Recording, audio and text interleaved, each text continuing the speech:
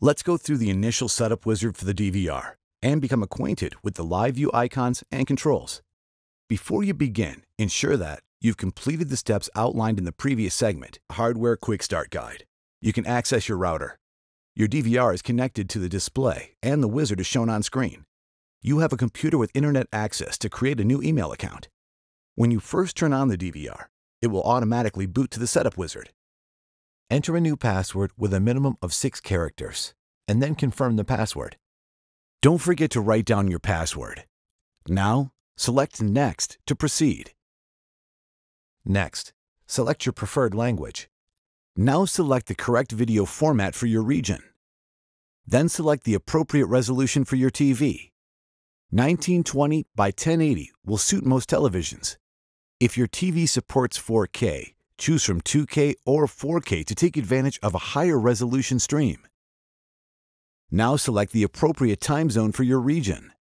Then select your preferred date format. Next, select your preferred time format.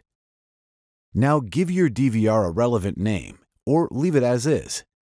The P2P ID or QR code are unique identifiers for your DVR. You can scan the QR code on screen or on your DVR when configuring the HomeSafe View app for easy setup. Select Next to continue. Your DVR requires a free Gmail or Outlook email address to send alerts and facilitate password reset requests. We recommend creating an account devoted to your DVR. We'll show you the example using a Gmail account and show you the settings for the alternate account types on your screen so you can follow along. In the email field, select Enable. Leave the encryption field as is. In the SMTP port field, input 00587. In the SMTP server field, enter smtp.gmail.com. In the username field, enter the email account's username.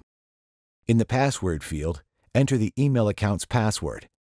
In the sender field, enter a name you wish notifications to be addressed from. In the receiver field, select an email to send notifications to. In the interval field, select the amount of time that must elapse before another alert will be generated. Now, select Test Email. If the test is successful, you will receive a notification on the screen. If you received an error, ensure that you entered the correct email address and password, and also check all your cables and connections.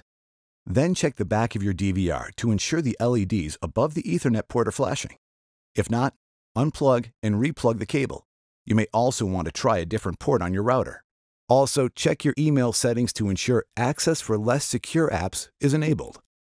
After receiving a successful test notification, select Next to continue. Now in the NTP field, select Enable to allow the DVR to automatically sync its clock with a time server. Then, select Update Now. Select Next to continue. Then in the DST field, select Enable if you wish to apply daylight savings time. In the Offset field, select the amount of time that daylight savings time is increased in your time zone. In the Start, End Time fields, select when daylight savings time starts and ends. Now select Save and then OK. If you reach the video resolution during the wizard, select OK to apply the setting. Congratulations! Your DVR is now ready to record video upon motion detection, send email alerts when an event has occurred, and is ready to connect to the HomeSafe View app. You're now ready to download the HomeSafe View app for your Android or iOS mobile device. Watch the segment HomeSafe View app for more information.